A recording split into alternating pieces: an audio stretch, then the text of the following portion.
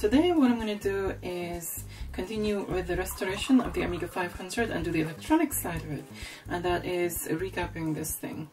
Uh, because last time, the last week, uh, what I did was the actual casing of it and there was a reason why I did that. And uh, I will uh, link that in the description below or the letter I here, here, whatever the, whichever corner it is. Um, but yeah, that I would urge you to kind of you know check out first so this will make sense. And what I'm you know the little update a little follow-up which I'm gonna say will make more sense. So let's get started with this and take this apart. These um, nut things here. Okay. Let's get started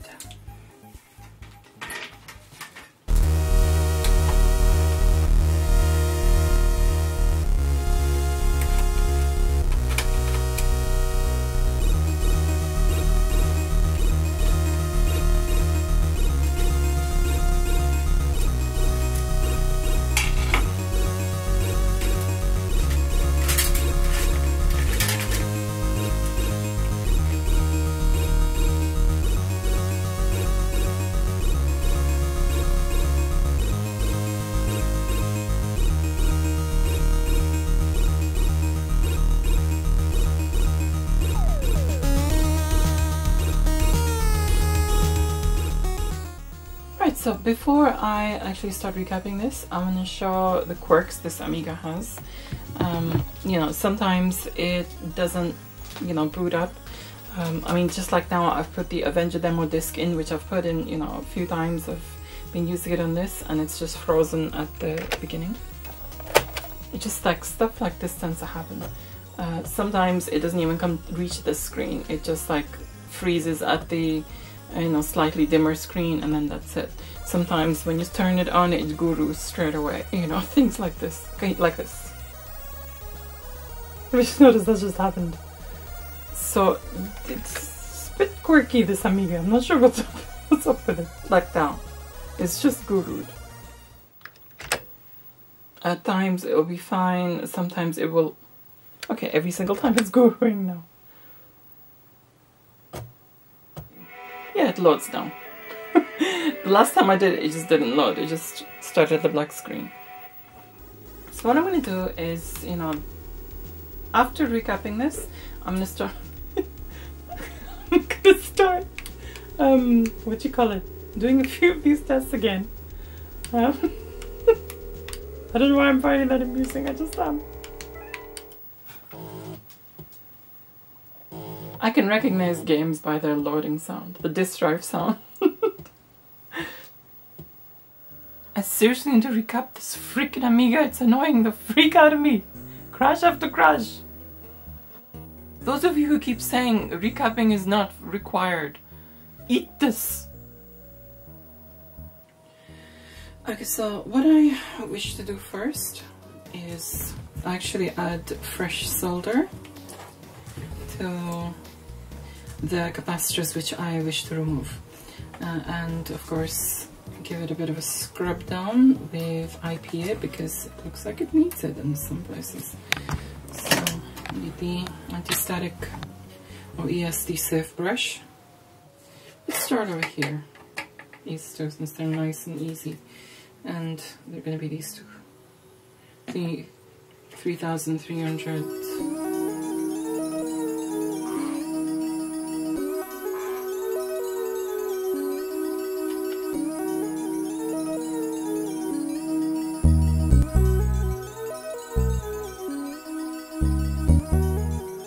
there you go, first capacitor placed. And yeah, you can bend it anywhere you like, you know, it's just to fold it around. And, uh, you know, I can even twist it and just, yeah. There you go, it's placed. Oh, ye of little faith. I wonder how many inner volcanoes that got erupting. yep, nice and solid. So don't worry, or sorry to disappoint, depending on how you're viewing this video. so let's continue going along the board. So let's do a little bit of a follow-up, shall we? On the video which I did last week, which seems to have caused quite a stir and quite an interesting stir.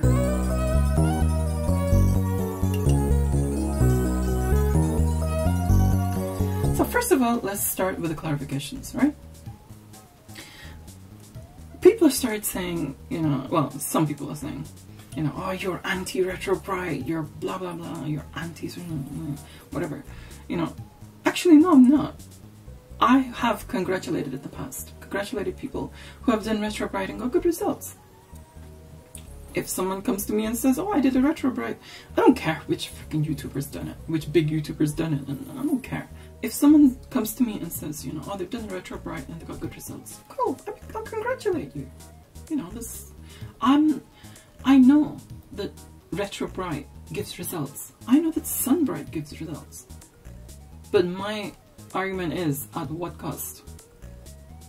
You know what I mean? That's the part which I'm, the point which I'm making.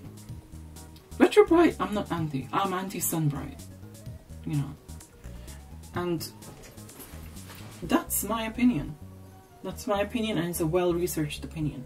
Because I got a little bit of abuse for in the comment section the last time, you know, some of it which I deleted because, you know, there's really no need for that. And it actually is interesting that I got I get abuse for just voicing a well-researched opinion on just thinking twice, just encouraging people to kind of think before they do. It's your equipment. You can stick it out in the sun on deck chairs. You know, whatever you want to do. My point is, think a little bit. Do a bit of reading around, do a bit of research, see some alternative information. That's my point. Otherwise, do what you wish at the end of the day. You know? So for that, I got flack. Basically, it's almost like they're saying, don't think for yourself. Take it from, you know, this one one person, one couple of people said, you know, oh, I see Mr. Mr. Sunshine, Sunshine, as an authority figure. And you should see him as an authority figure too. Go watch his videos. He's good and see him as an authority figure just like I do. Piss off. I'm not seeing anybody as an authority figure. I don't care how big of a YouTube YouTuber he is. I'm not seeing anybody as a freaking authority figure. Why should I? I've got my own brain. I got my own mind and I do my own research. You know, why should I just take someone's word for it? And that's very suspicious. Why am I being told that this person is a retro authority figure? Actually, nobody owns my love for Amigas or anything else. Nobody owns my passion and my experience from childhood until now all my creativity that I've done on the Amiga and my love for it. No authority, no one's got authority over it. Why should they? And why should anyone have authority over you? I'm sorry, but I don't see any of these YouTubers as authority figures. And I don't encourage anyone to see me as an authority figure. Have you noticed in my videos, those of you who've been around, that I always say to you, do your own research. Don't just take on board what I'm doing. Do your own research because I'm not perfect. And nobody is. Whoever thinks they're perfect has got some serious self-delusional thing going on. You know, I don't want to be responsible for screwing, you know, your computers up or anything like this. So I'm very careful with what I say and any advice I give. And if I'm trying something, I always say do your own research. So yeah, it's very weird that somebody, there's like a bit of an agenda going on, and it is to not think and just like full on take these people as, you know, oh, take everything they say as solid stone. Why? So the other thing that happened was, you know, there's a couple of people saying, oh, but you painted your case. Yeah? You painted your case, so you're doing, what you're doing is just as bad as sunbrighting.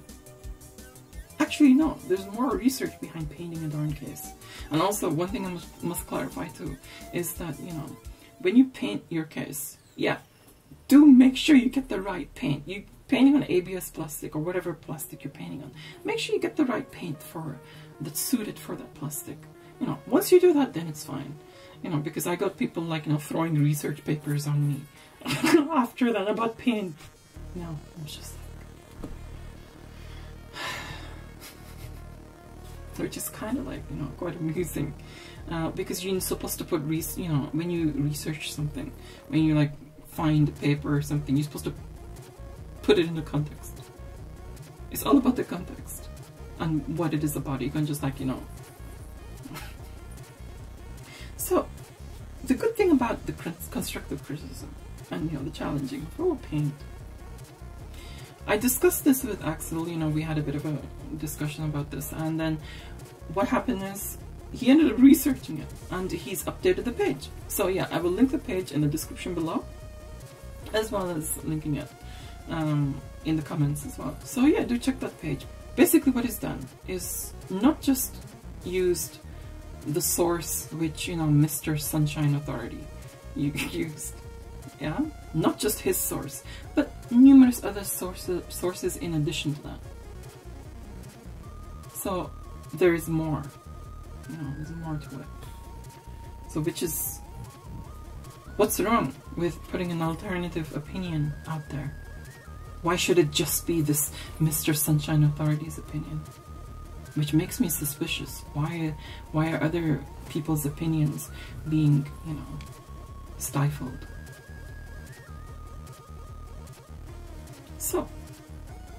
That's a follow-up. As I said, clarity, you know, I'm not against retrobriting, but I'm just not convinced at the long-term effects of it. And that's my opinion. And that's the opinion of Axel, and that's the opinion of whoever else believes in it. It doesn't make us haters. It's a very black and white way of seeing this. If you want to do that to your computer, then, you know, if you want to do um, retrobriting, do it. If you want to do sun brighting, actually no, that I find hard to say do it. But it is your choice. It's your computer's funeral. So, yeah. Go ahead. You know, you paid for it. It's your childhood computer or it's your whatever computer it is. But no one should be hurling abuse or anything. And either myself or Axel or anybody else. Something's wrong if someone is hurling abuse and making me worship this Mr. Sunshine Authority guy. That's very suspicious. Those comments were really weird. And I don't, I'm not comfortable with this. What sort of, it makes me more suspicious. What sort of weird movement is going on here? You cannot think for ourselves? And we, should, we are discouraged to think for ourselves? Why? Anyway, take what you will from all this. I'm gonna go and test my Amiga 500 now. Okay, so that's done. Let the IPA evaporate. And let's chill a little. Once um, it's evaporated, I will connect the keyboard, connect the floppy drive, and then just try it out. Okay, so first test, I've just connected the keyboard, floppy drive, and that's it. Let's just see if it turns on. Okay, looking good, looking promising. Yep, drive's clicking, everything is fine. Give it a reset. Good. Okay, so let's turn this off and put the RAM expansion in there because I want to test the games out.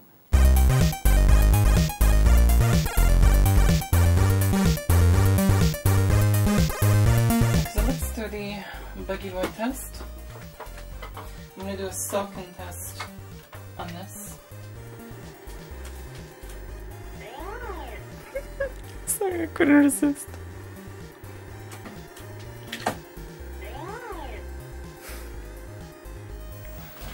Because I mean, Buggy Boy works. Don't know why I keep choosing Buggy Boy to be honest, but so let's try something a little bit more taxing than Buggy Boy. What I'm to do after this is just keep a demo on it for a while, like a Venja demo Rebels or something, and just keep it running for like about an hour or something like this. And you know, soak test, see if it's Yay, it's working!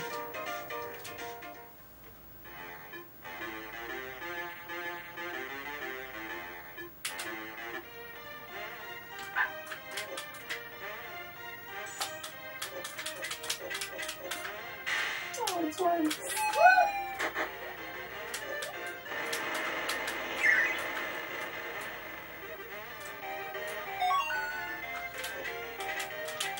Miss this music. I've heard this for a little while because I always heard the CD the CD32 soundtrack more recently, so I kind of miss this one. I like the CD32 soundtrack. It's actually it's actually amazing, but where's little doggy going? There he is. Hello. Okay, I'm getting into the game now. we did the test. Let me just like Okay, so I managed to find advanced Amiga analyzer. I mean, I don't know how good this is, but it's the only test thing I could find out there. So, if anyone knows any others, do let me know. That's one thing I've noticed about advanced Amiga analyzer. It'll, the test will just keep going and going until you press end. it's a bit weird. Should have an option to kind of just stop.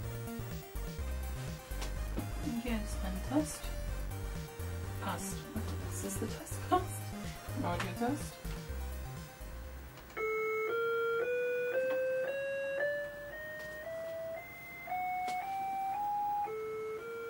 Okay, so everything seems fine and there's been no crashes so far. So it seems to work all good now. So it's just like my Commodore 64 you know, a couple of years ago now, it's been a while, uh, I recapped one of my Commodore 64s, and before recapping, a couple of my tapes, it was like a select few tapes that just refused to actually load up. They just kept getting tape errors or something like this, and there was literally no way to get them to load.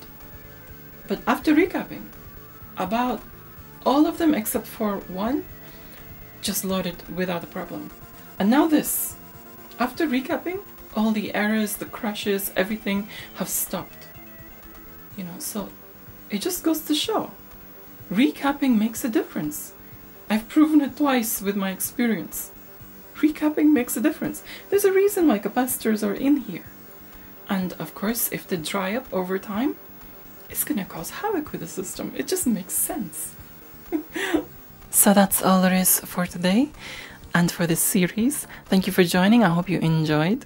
And um, thanks so much for your likes, your shares. Do leave your thoughts in the comments below. Don't forget to check out my other videos because there's quite a huge library of them now. And do subscribe for more. Also, a big thank you goes to my patrons uh, for all their support. So for now, I will say adios. Oops.